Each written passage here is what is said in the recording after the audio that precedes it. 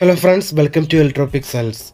If you like our channel, please don't forget to like, share, subscribe and press the bell icon for getting further notifications. Hi friends, it's a 40 inch Sony Smart LED TV. Here in this TV, the motherboard is damaged due to lightning. The model number is 40 W56D. So here the fault is no power issue. While checking, here we found that the adapter is working properly. Here actually the fault is with this motherboard and it's because of lightning issue. So the only solution is motherboard replacement. So here we installed same model motherboard instead of the faulty one. So let us replace it.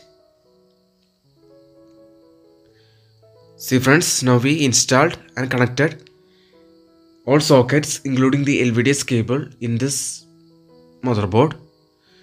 See friends this is the old faulty motherboard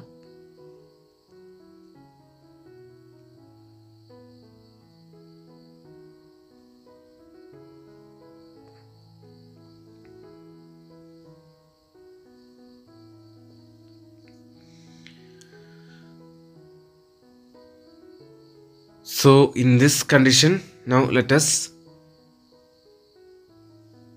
connect the adapter.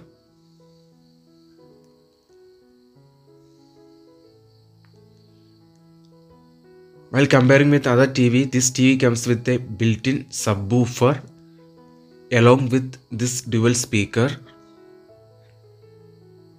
So friends, now let us connect the DC adapter and check the picture.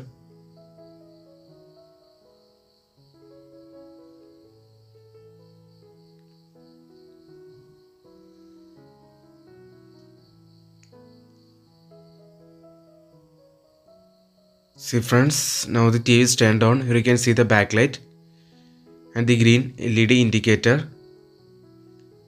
Now the picture comes. See. So the TV is repaired successfully. Here instead of installing universal board, here we fixed the original motherboard in this TV. So that's it. You can see in the left side this is the subwoofer